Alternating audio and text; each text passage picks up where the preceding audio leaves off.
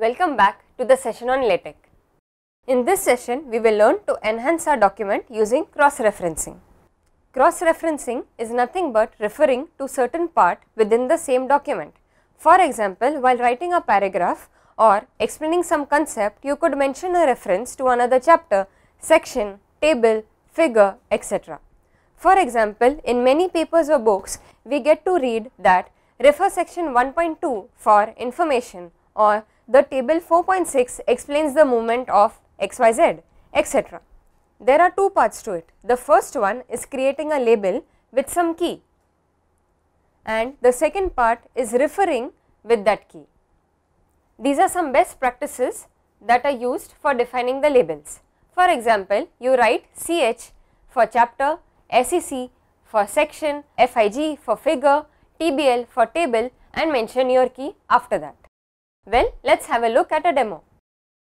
There are some sections, subsections already written over here starting with section 1 which is overview, then introduction, definition, audience, a table, specifications, requirement and functional.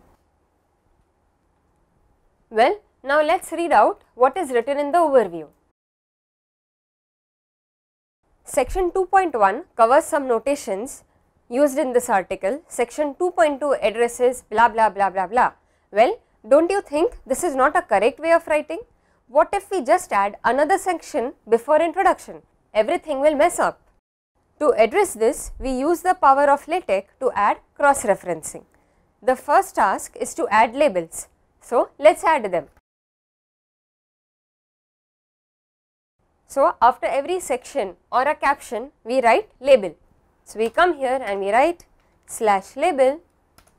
Since this is a section, we write SEC followed by the key that we want which is introduction. So, we just write intro. Similarly, for definitions, we write slash label. Since this is a subsection, so we write SUB, SEC and we write say definition. For audience, slash label, SUB, SEC and we say audience.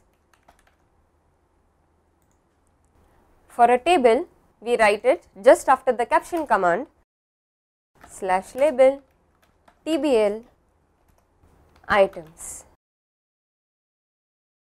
specification slash label section specs after requirement slash label SUB SEC and requirement.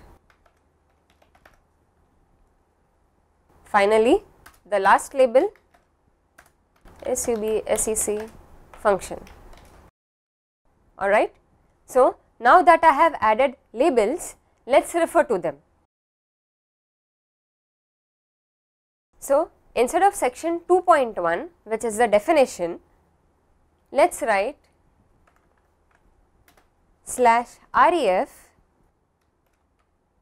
sub sec and definition and section 2.2 which is audience we write slash ref subsection audience. So, rather than having the number 2.1 written here and number 2.2 written over here, we write slash ref subsec definition and ref subsec audience. The ref command displays the number of either the chapter, section, table, etc. Build and run.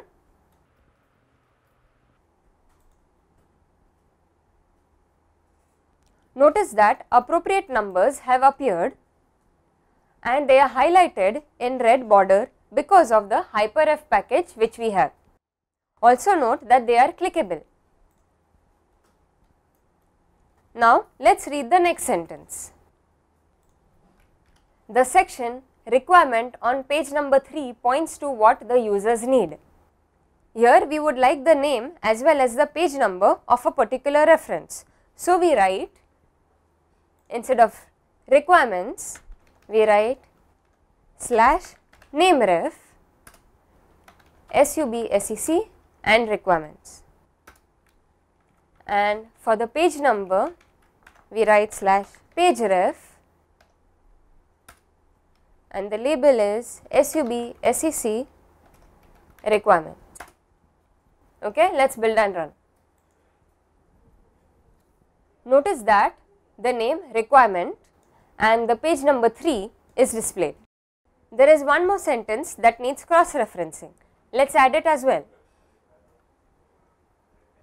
So, instead of table number 1, we write slash ref tbl items and for page number instead of 2 we write slash page ref and the key is tbl items.